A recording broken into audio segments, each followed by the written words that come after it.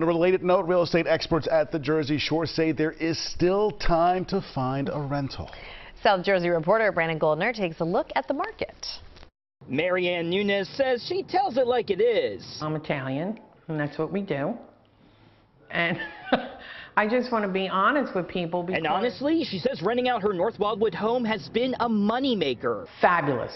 We've been totally rented for our two months that we rent since October. Though Maria Kirk of ShoreSummerRentals.com says this year, not every homeowner looking to rent out is as lucky. It's not crazy slow, but it, it's not what people are used to. She says last year their total bookings for the summer were 95%. This year they expect to be at 90%. Kirk says it's not that people aren't going away on vacation, they're just going further away. They're traveling even to the Outer Banks, or they're traveling to Mexico or Aruba.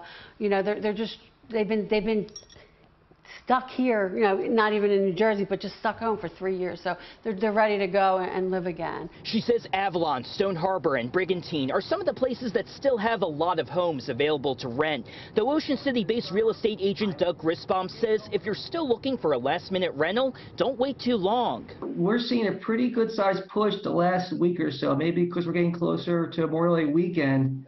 Um, so if you haven't booked, I I would I would secure something relatively soon. While some homeowners are banking on those last-minute bookings, Nunez says she currently has a wait list of renters. We felt bad because like a lot of our renters who rented the first season wanted to come back the second season and they got to us too late. We were already booked. We had to turn them down. Though experts say with the rental market being slightly slower this year, those out-of-luck renters will still have other options. Brandon Goldner, CBS News, Philadelphia.